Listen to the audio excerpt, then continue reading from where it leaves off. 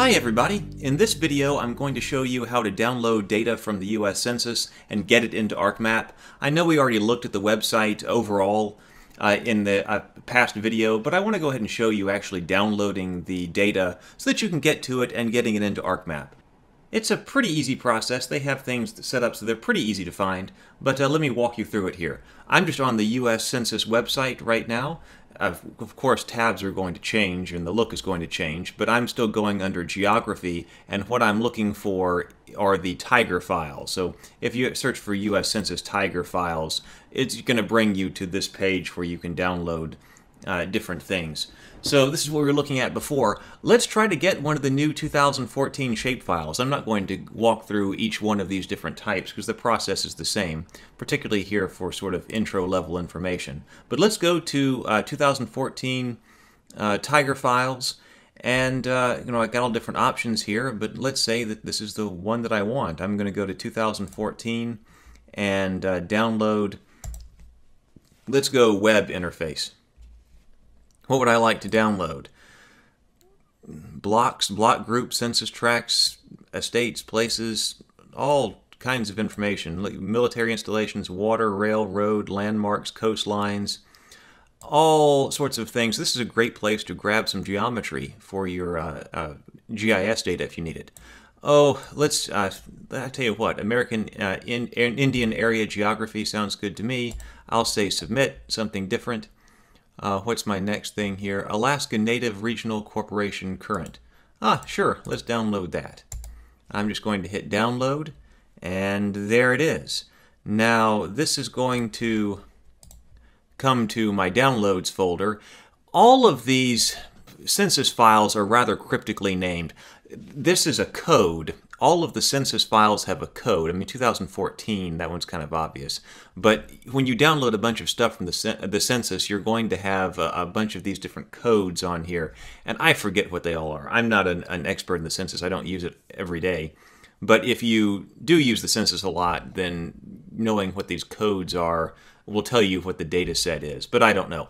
When you download this data from the census, it's going to be zipped so you're going to have to unzip the data in order to get to the shapefile. So I'm just going to do that, uh, extract all, yep, sure, just extract it right there.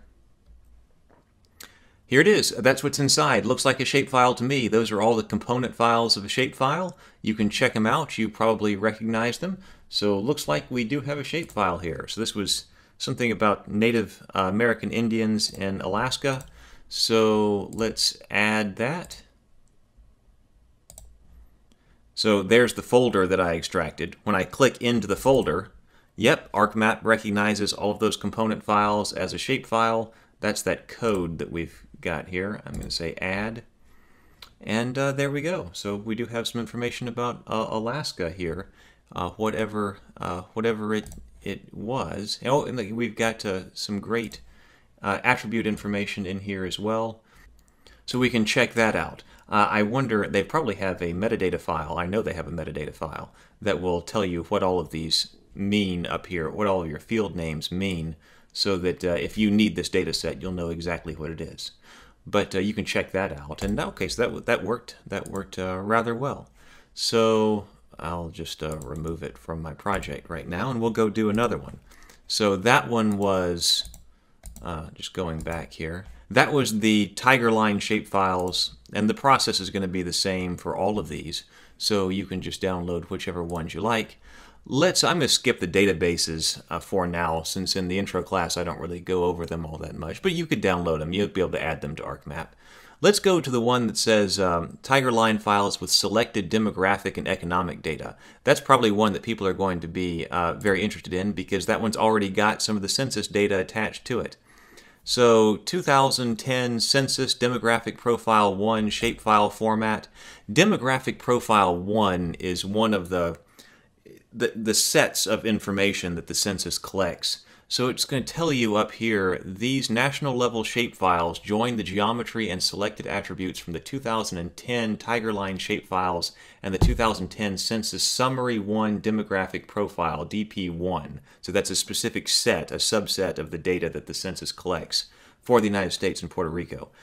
So they contain items such as total population, total housing units, median age, population 16 years or over, population 65 years or over, race, relationships. Wow. So all of this stuff, that's not everything in the census by any stretch of the imagination. But this is a lot of stuff they already have attached for you and it'll be ready to go. And then you pick what type of geography you would be interested in. So uh, let's take a look at, uh, it doesn't really matter here. Let's, uh, I'm going to do counties downloads it. Oh, that's a rather large file. So uh, it's going to download here. And it's downloading a, a zipped file. It's downloading a compressed file. Okay, there it is. Let's go check it out. There is the zipped up file right there. We need to extract it.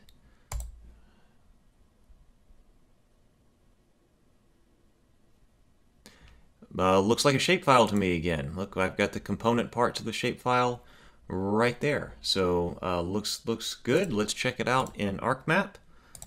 Let's see what we've got.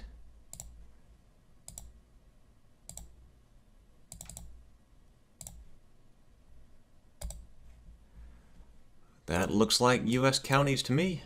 Yeah, it looks like we got the right geometry. Looks like counties all across the U.S.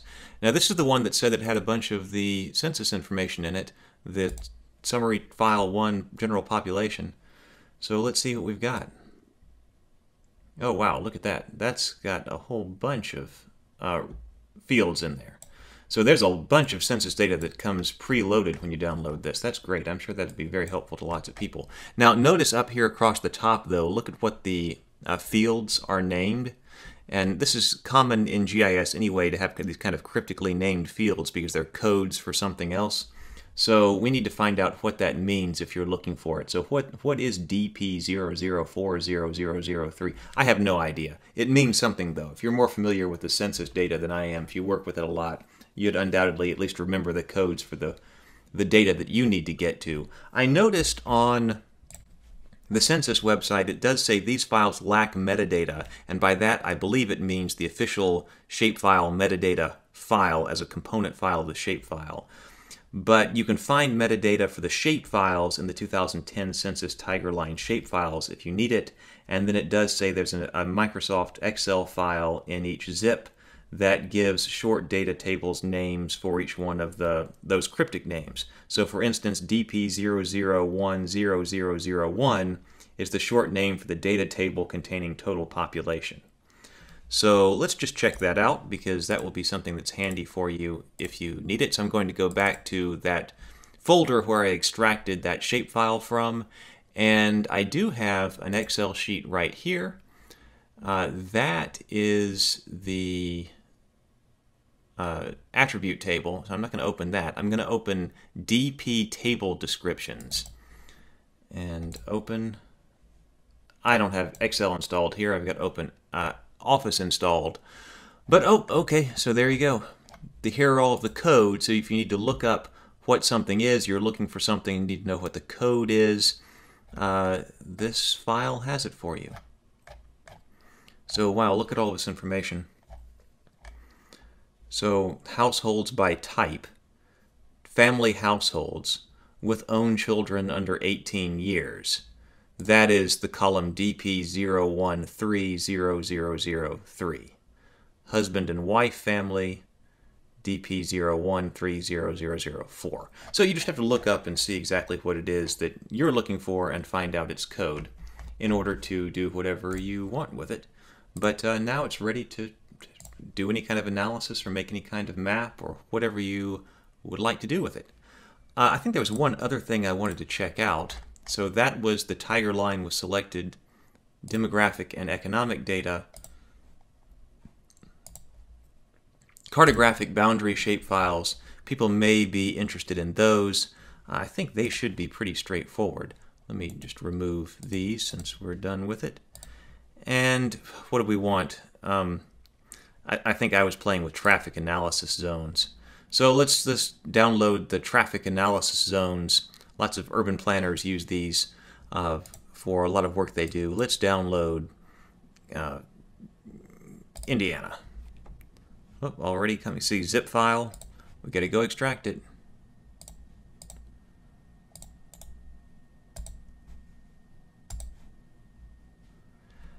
Now, okay, that was the other thing about these. These I'm not quite a fan of as much because they are missing a very important component file to this to the shape files. It does not have the .prj file, which contains the coordinate system information, and I don't really like that all that much because it, it's a problem that I, I, hadn't seen in a while. I used to have this problem all the time, but it, uh, particularly with census data, but they've gotten better about it, as particularly with the newer stuff, making sure that it has coordinate system information. Um, why some of the older stuff does not, uh, even though that wasn't that old, was it? No, this is 2000, which is not all that old, but okay. Uh, 2000, yeah, I suppose that's about right because uh, when I used to work with things, I was probably working with about, census information. I was probably working with about 2000. So if you go back that far, the shape files are not complete when I add it, I'm going to get a message that it doesn't have uh, spatial reference information. You notice there were only three files in that, which was smaller, a smaller number of component files than were in the other. If the following data sources you you added or missing spatial reference information, this data can be drawn into ArcMap but cannot be projected. I want to talk much more about this error. I typically do it in the second semester class there's a lot to be said there, and it's because it doesn't have the .prj file.